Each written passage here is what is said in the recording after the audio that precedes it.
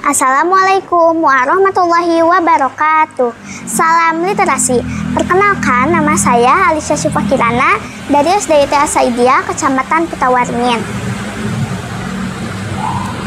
Pada tantangan bulan April ini, saya akan merangkum cerita fabel yang berjudul Anak Beruang yang Mandiri.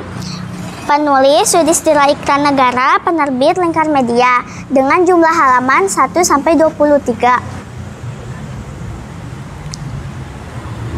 Ini rangkuman saya. Anak beruang yang mandiri. Buku ini menceritakan tentang seorang beruang yang bernama Berry, ibunya Bu Poti dan temannya Dani.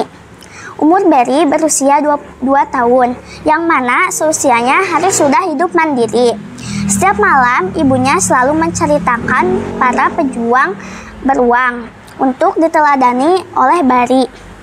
Suatu hari, Berry merasa lapar, tetapi tidak ada ibunya. Berry pergi keluar rumah untuk mencari makanan. Dan tak sengaja bertemu dengan Dani yang sedang bersembunyi. Ternyata ada anjing laut yang mendekati Dani dan Berry. Mereka bersama-sama untuk menerkam mangsanya. Sejak saat itu, Berry bisa hidup mandiri karena bisa mencari makanan sendiri.